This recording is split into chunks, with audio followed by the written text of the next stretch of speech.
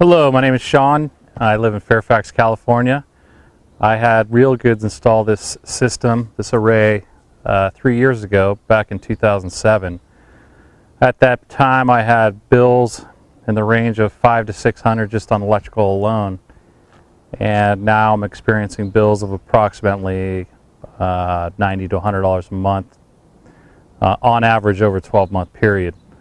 Um, I was actually just thinking to myself yesterday, if I was actually paying these bills, I'd be very frustrated.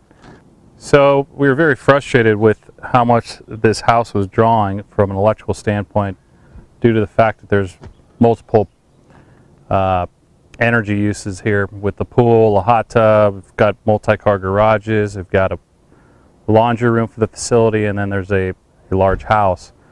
And with the solar, you know, the power now is not a main concern. And you know within six to seven years you know the system will be paid for which basically will be generating free power. You know the system's held up very well.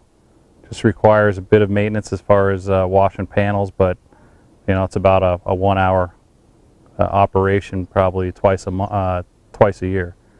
So other than that you know it's pretty much maintenance free well if you're skeptical about solar I mean, it's very, very easy to see the payback.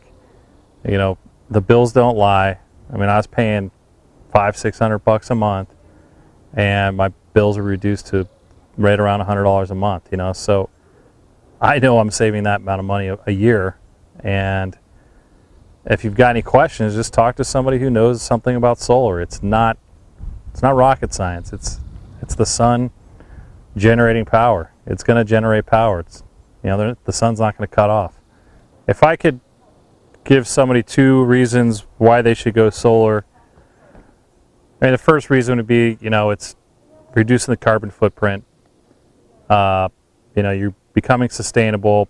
You know, and secondarily, you know, it's going to save you a lot of money. I mean, it's an investment you're making. So you invest in your kid's future, you invest in know, your retirement, but this is another investment that you're making. You're spending less money, and it's going to give you a payback in six to seven years.